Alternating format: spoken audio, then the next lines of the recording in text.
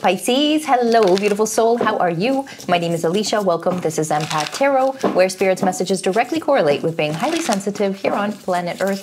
Now, this is going to be a general reading, so if it does resonate, like, share, and subscribe so we can get Spirit's message out there to fellow empaths. For more clarity on your situation, pop on over to your sun, moon, and rising signs. And if you're interested in receiving a personal reading with myself and Spirit, all of the details are going to be down in the description box below along with my husband. If you have not yet, check him out. He is over at 7D Tarot. And be sure to stick around until the end of this reading because we are going to be pulling a final message from your angels. So, you're about to go on a journey that is going to transform your energy of feeling like you're worthy, which in turn is going to transpire into you meeting a special person or a special somebody.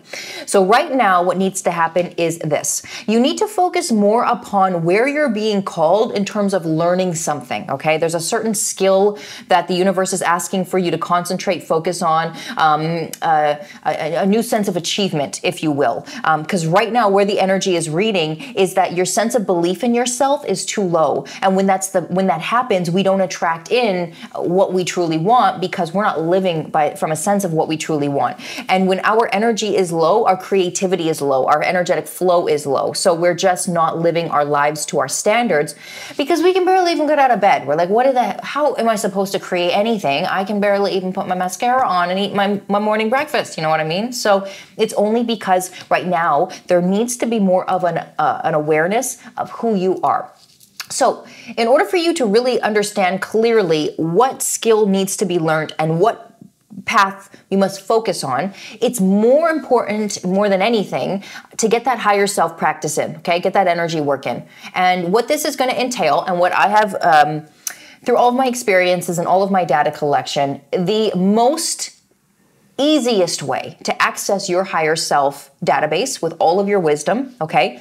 Is you want to wake up and you want to get outside first thing. I know, I know, I know. You don't always want to, but you do it because you know why? It's going to benefit your life and it's going to attract everything you want. So you wake up, you get outside first thing in the morning. You go for a 15, 20 minute walk, nothing serious.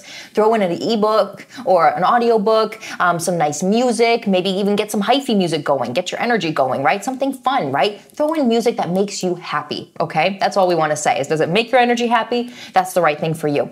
20 minutes walk to a, a, park if you can. Walk to a, a, neighborhood park, or you could come back home if you want after that, if there's no park handy. But what we want you to do after that is very important because this is one of the biggest steps to clearing your energy, okay? We want you to put on your timer for 15 minutes, and we want you to do a 15 minute more intense or vigorous movement. This could be dancing, this could be moving randomly, this could be squats, this could be jump squats, this could be whatever you want. Pretending you're skipping, right? Fake skipping, jumping jacks. You could do even put on a 15 minute follow along, high intensity, beginner friendly, right? We don't we're not trying to, you know, win any medals here. We're just looking to clear our energy. So the the essentially wherever you are in your fitness level, move your body more vigorously than normal. Okay, that's it. No, we're again trying to you know you know get to the Olympics here. We're just trying to clear some energy. So whatever that is, 15 minutes, okay then what we want you to do is we want you to sit down with yourself. Now you can get some water, of course. Um, you can, you know, get some caffeine if you like, you know, but you know, don't take too much time. We're not sitting co- coffee over here where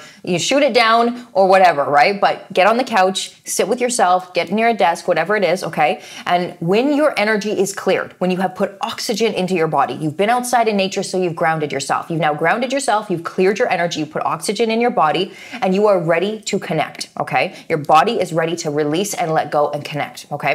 And then what you want to do is you want to sit, breathe into your heart, put on some music, okay? My favorite lately has been Chantress Seba, Chantress S E B A on YouTube. My favorite one is the Lionsgate meditation activation. Uh, it's just beautiful. I just love her, love them. Um, so give it a try if you like, but something that resonates with you. Binaural beats, um, focus music, whatever. It doesn't matter what the music is as long as it keeps you feeling relaxed, okay? And you breathe into your heart, you listen to the music, you let go, you let go entirely.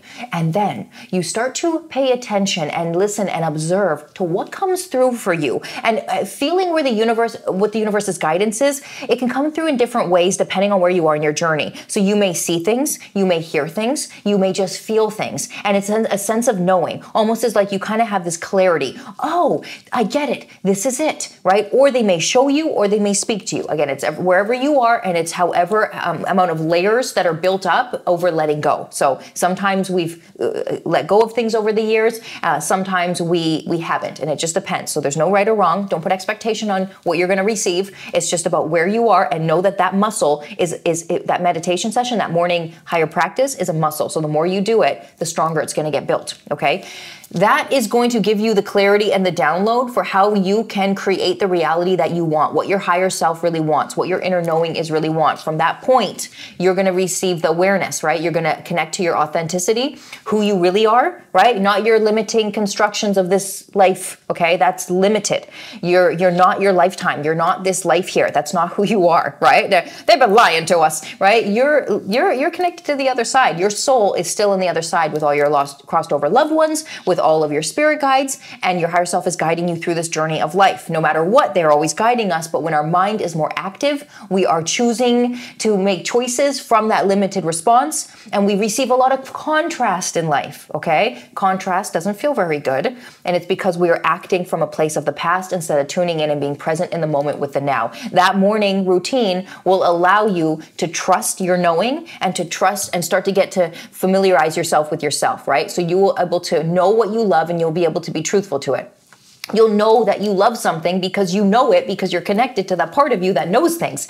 If you're connected to your thinking mind, you don't know anything. You're like, everything's uncertain and I'm full of fear. What do I do? Right? Here's where I came from. I came from poverty. I came from uh, being overweight. I came from not ever being respected. So I'm never going to have love. Right? That's going to be the thinking mind. Not fun, not worthwhile, not even worth it. Right? But we connect to the heart and we connect to our soul and our higher self every morning and then the thinking mind has a direction because the heart says, ah, this is what I want. The thinking mind's like, let's go get it, right? But when the thinking mind has a mind of its own, it goes back to trauma from the past. Not super great, right? So this is what we're experiencing from you.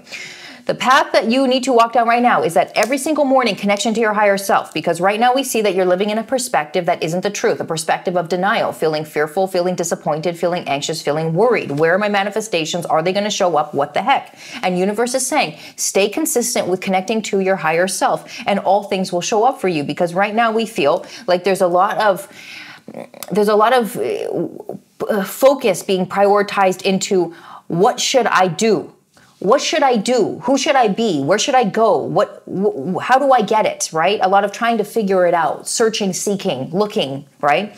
That is only going to leave you more lost and confused because again, it's your thinking mind off of your, re- your traumas here so far, your life here so far. You're reacting to it, right? So you think you want it, you're trying to figure it out. Maybe it's this direction, maybe it's that direction, but you don't really know. That sense of knowing comes from connection.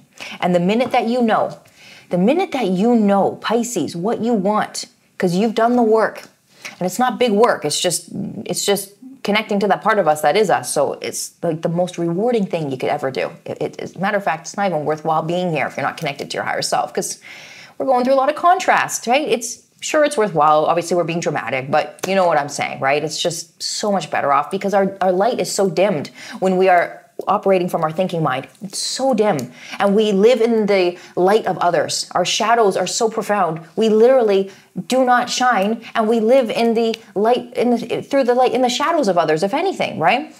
And in order for you to shine your brightest, to receive the clarity and receive the purpose and know what service you're here to provide and know why you incarnated into this lifetime in this moment of time, you're going to get all those answers by staying consistent with the practice of higher self connection every morning without fail. It doesn't matter if it's raining. Stick your head outside, breathe in some oxygen, put in a 15 minute follow along HIIT training. Get it done, right? You get it done. You make it happen every day. This is what you do for for yourself. And then guess what happens? You remember who you are, Pisces. And when you remember who you are, you attract in everything that you could ever want. And that's how the game of life goes. So don't ever doubt yourself because you are an entrepreneur. You are a business being. You are successful. You are a leader. You are somebody that others want to hear from. Okay? And so, connect your higher self, and this will all become activated. You will remember that, all right? So your angels are saying to you, self-employment suits your disposition and intentions. Working for yourself allows you to better follow your intuition and divine guidance. We are your coworkers and teammates who remain loyally by your side to ensure your success in all ways, okay? I never thought that just by following my heart and meditating and writing down all my anxieties and fears was going to lead me here, but it did because that was my journey of self-discovery, of realizing realizing what I'm here for. And it came from my trauma of living in other people's light. It came because I didn't believe in myself, so I put everyone on a pedestal ahead of my own all the time, always, no, no, belief.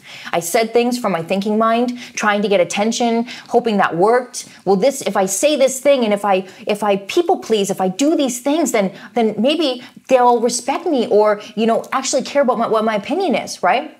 I never understood. I never understood why I wasn't getting the response from the world that I felt like something seems off here, right? And it's only because I wasn't connected to who I really was. I let my disbelief in myself, my thinking mind, uh, not I let, but that's that's how it goes until we go through the journey, right? And that first step is connecting to who you really are, and then everything starts to change. We love you so much. We hope you enjoyed your reading. We hope there were messages in here for you. And if there was, like, share, and subscribe. We truly appreciate you. Spirit loves you. I love you. And until our next reading, keep shining, baby.